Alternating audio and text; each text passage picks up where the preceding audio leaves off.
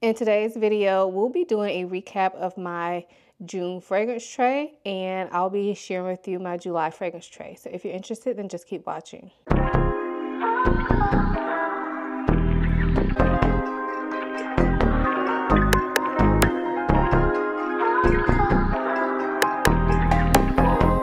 So for those of you all who may be new here, Hi, my name is Ayesha. You're not going to see my face in today's video because I just washed my hair and I look like a wet puppy. So there's that. But anyway, I wanted to do this video sharing with you guys my fragrance tray because I did this last month and some of you all were quite convincing on why I should do these on YouTube as opposed to TikTok. So um, here I am. Some of you all were quite convincing, so I decided to give it a try. I hope that these videos are helpful. I do myself enjoy watching these kind of videos, so I'm happy to do it um, as long as, you know, going forward, as long as I feel like they're worth my time, they're worth your time, and they're helpful, then I'll continue doing them. So hopefully this is something that I continue doing here on this platform. So anyway, what you're looking at right now is my June fragrance tray, and we're gonna do a quick recap of each of these fragrances before I take them off and set up my new tray. So the first fragrance that I have here is Angel Nova by Mugler. This is a raspberry rose woody scent and this one was on my tray. And I will say while this was on my tray, I think I wore it once. However, my daughter became obsessed with this bottle. Like she loves the bottle and she basically took it from me. So it's been sitting in her room. I really, I actually just went and pulled out of her room to put it back on my tray for this video. But um, yeah, she basically stole this from me. She's not even wearing it, but she loves the bottle so much. So right now it's in her room. So that's why I didn't wear it much, but I do still love this fragrance and it's definitely staying in my collection. The next fragrance is Sunny Side Up by Juliette Has a Gun. This is a sandalwood coconut scent and I had put this one on my tray and I had put this on my tray to be one that I put more of a dent in because I've loved this fragrance for a long time. But you know, with all the new fragrances coming out, I don't use some of my older fragrances as much. So that's kind of why I put this one on here. But I really enjoyed wearing this. I wore it probably at least five times at the very least five times. So I felt like I'm glad it was on the tray just to allow me to kind of see it again and put it at my at the forefront of my mind. This next fragrance is Cruz del Sur 2, and I just lied to y'all. The Sunny Side Up, I think I put it on there as like an everyday or gym type scent. Um, so yeah, the Cruz del Sur 2 is this one here. This is a creamy mango scent, and I remember putting this one on my tray because I wanted to use it up more. And I only used it maybe once or twice, uh, but I do still love it. I really enjoy using it, and I will continue to use it this summer. Next up is Kayali Yum Pistachio Gelato. This is a sweet pistachio gourmand fragrance that does have this kind of airy, bright nature to it. And I ended up wearing this probably about four times this month, so I felt like that was a good um, use out of this fragrance. My dent is not as big as some people's, but like two of the times I know I wore this to bed, so I'm not really overspraying when I wear it to bed.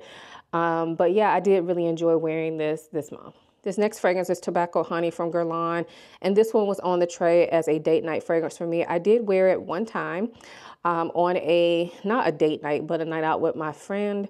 Uh, and I really enjoyed wearing it. I did get a compliment off of it as well. And one of the reasons I put it on the tray is I wanted to see, you know, if it would wear well in hot weather.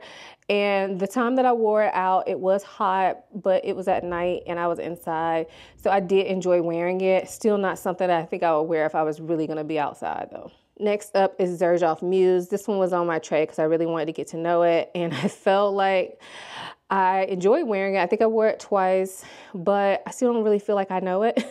it is a sweet scent. To me, it reminds me of like grape soda. Uh, I don't know what the notes are right offhand, but I do know that this was like fun and sweet and playful. Nothing too serious, but I did enjoy wearing it. This next fragrance is 5 o'clock Au Gingembre by Serge Lutens. And this one was on my fragrance tray because I don't want to say it was on the chopping block, but it's one that I need to get to know more. Uh, it is a ginger scent, but it does feel quite warm and spicy and just very zingy. And there's another ginger fragrance that I really want, but I feel like it's going to be similar to this. And so I wanted to put this on the tray just to see how I liked it. And I do like it. I'm still not 100% sure it's a love for me. Like, I don't know. I wore it probably twice, maybe three times, but as of this moment, this is still kind of like, I don't know if this is going to remain in my collection for always, you know? but I did enjoy wearing it. It wasn't a bad experience. I just was not really wowed by it for some reason. Next up is Guerlain Aqua Allegoria Forte Bosca Vanilla. So this is a beautiful vanilla, floral, salty coconut type scent. Um, I did, this was on my fragrance tray as like an everyday scent, and I did enjoy wearing it. I probably wore it maybe maybe like three or four times. I actually wore this one to bed last night and I felt like it smelled amazing last night when I wore it.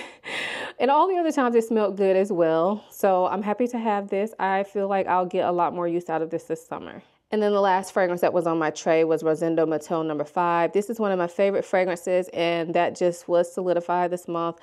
I had to wear this probably at the very least four times because I know I didn't go a week without wearing it. So at the very least four times. And mainly I wore this around my house. but I was smelling so freaking good. I just can't get enough of this smell. So happy to have had that on my tray this month as well. So that was June's tray. Let me do a quick wipe down and then we'll get into July's tray.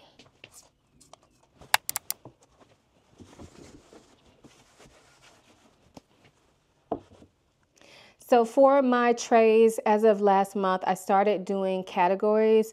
Uh, so basically a fragrance for each type of occasion. just because I felt like this is fun. Yes, it does make picking my tray a little bit more difficult because I'm thinking about it more, but I don't know. I enjoy it. So as I put each fragrance on the tray, I will let you guys know why I chose it, like what particular category I chose it for. So this first fragrance is Flowerbomb Tiger Lily, and I chose this as my day-to-day -day fragrance. This is kind of a newer release. I believe I've only worn it one time since I got it. Poor job, Ayesha.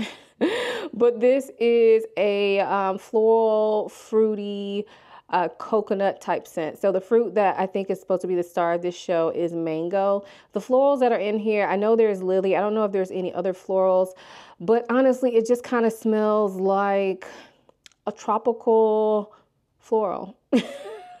anyway, obviously I get need to get to know this more, so that's why it's that's why I wanted to put it on my tray. But yeah, this is what I chose for my day-to-day -day scent. My special daytime scent for this month will be Telea by Tiziana Terenzi. This is a summer fragrance in my opinion. To me, what I get from this is like tropical fruits, like a bunch of mixed fruits that give off a slight clean type vibe, almost like ocean air type vibe. So um, this fragrance is one that when I got it, I enjoyed it, but it really wasn't what I thought it was gonna be. and so I wanted it on the tray this month to kind of like play around with it. I don't think I've worn this since last summer. So this will be my like special daytime scent. My next category is a bedtime slash cozy scent, and the fragrance that I chose for that is this one from Laura Mercier. This is the Almond Coconut Eau de Toilette. So I picked this up from TJ Maxx a couple months ago, and it was just sitting in my collection. I haven't worn it yet. However, I have had this fragrance before, like a long time ago, so I am familiar with it. It's just that I haven't worn it from this bottle. But I felt like this is the time of the year to pull out those coconuts and this one is just like a warm, cozy type scent that I feel like will be great for bedtime. My next category is a night out fragrance, and the fragrance I decided to go with is Bleu Turquoise by Armani Privé. I love this fragrance. It's probably in my top 10 fragrances. It is a salty vanilla that has some woodiness to it. It has some incense to it. It has black pepper in it. And all of that just makes for a very unique scent. And it's quite like prominent. So I have worn this on a summer night before. And although I chose it for like my night out scent, I'm pretty sure I will wear it on a night out, but I also would wear this during the day as well. But it's just, it's a great one. My next category is my date night in fragrance, and the fragrance I decided to go for is Minuit et Demi by Fragrance Du Bois and Demi Rawling. This is a cozy, like cardamom, vanilla, coffee type scent.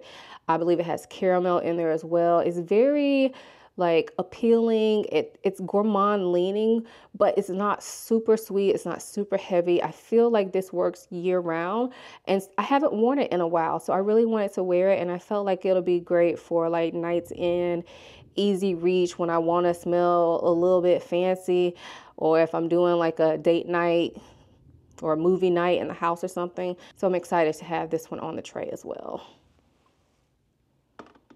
The next category is my gym scent slash clean girl type of scent. And the fragrance that I went for is Princess Eau Fraiche by Kilian. You can see I have quite the dent. I got this last summer. I love the smell of it. However, performance sucks on it. And so I kind of want to be done with it, y'all.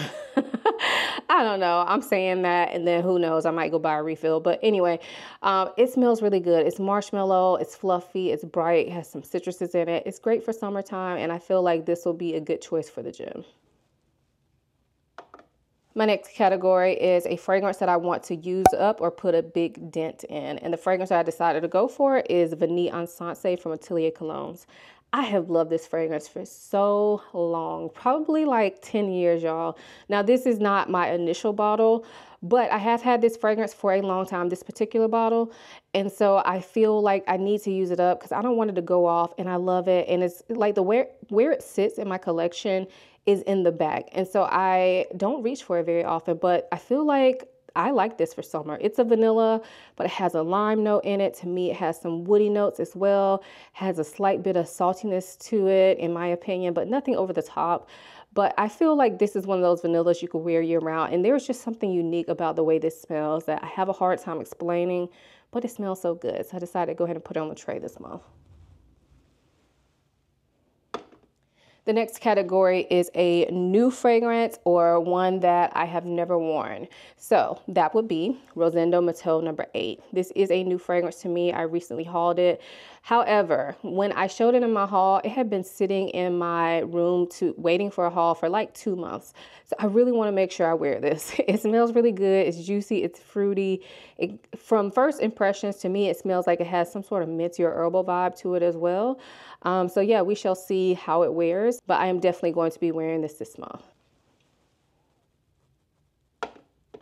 And then my last category is my wild card fragrance. So basically just a fragrance I wanted to wear that didn't have to fit into any category. It could be a duplicate of a category, but just something I wanted to put on there just because I wanted to put it on there. And the fragrance that would be for this month is Decas by Xerjoff. I love this fragrance. However, I recently moved my Xerjoff fragrances to a higher shelf and therefore I don't reach for them as much because I have to use a ladder to get up there. And so even though this is the kind of fragrance I could reach for a lot, because of where it's located in my collection, I haven't reached for it in a couple months and I love this. It's a resinous citrusy scent.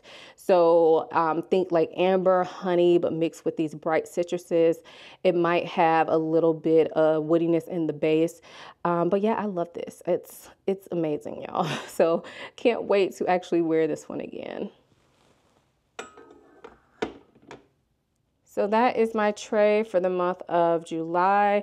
Let me know if you've tried any these fragrances, what do you think of them, what it will be on your tray for this upcoming month. Thank you guys so much for watching. Make sure you hit the like button, make sure you subscribe. Make sure you check out some of my other videos because I have a ton of content you can check out. All my links for the products I mentioned along with all my social media links will be listed down below. Thanks for watching. I'll see you in the next one. Bye.